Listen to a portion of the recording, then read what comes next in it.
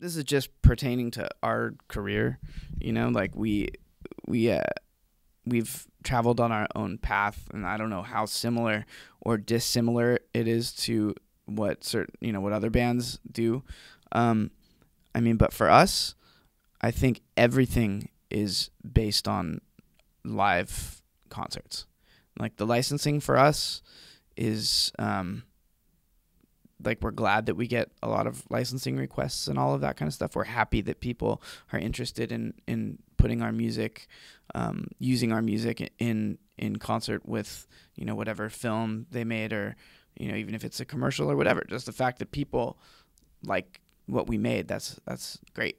Um, but as far as how that drives a career, uh, we haven't really we haven't done enough of that sort of thing. I think to really be able to to see any type of um, tangible, quantifiable um, result.